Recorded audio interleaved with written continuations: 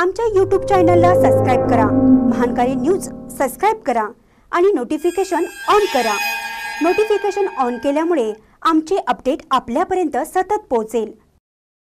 शिरोळात आचारसंहिता लागू. चोवीस तारखेपासून अर्ज भरण्यास प्रारंभ. निवडणुकीचं बिगुल वाजलं. आताची सर्वात महत्वाची बातमी शिरोळात धुमशान सुरू झाला आहे. चोवीस तारखेपासून अर्ज भरायचे आहेत.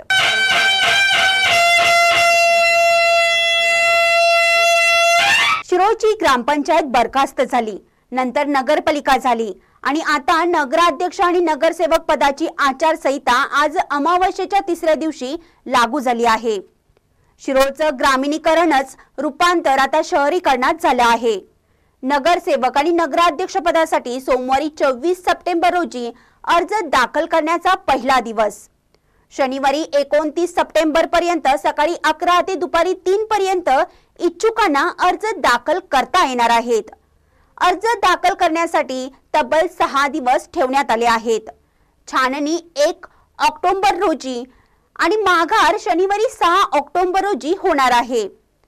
मतदान रविवारी एकवीस ऑक्टोबर आणि मतमोजणी सोमवारी बावीस ऑक्टोबर रोजी होणार आहे. आजपासून शिरोळमध्ये आचारसंहिता लागू झाली आहे. अर्ज दाखल करण्यासाठी आजपासून तेरा दिवस बाकी राहिले आहेत. इच्छुकांची घालमेल सुरू झाली आहे. राज्य निवडणूक आयोगाचे कक्ष अधिकारी संजय सावंत यांनी आज निवडणुकीचा प्रोग्राम जारी केला जाहीर केला.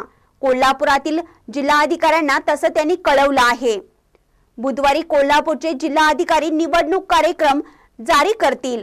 शिरोड नगरपालिकेसाठी चोवीस सप्टेंबरला उमेदवारी अर्ज दाखल करायचे आहेत. शिरोळच्या नगरपालिकेची निवडणूक लागली आहे. अखेर नगरपालिकेचं बिगुल आज वाजलं. महानकारी न्यूजसाठी शिरोळहून संदीप इंगडे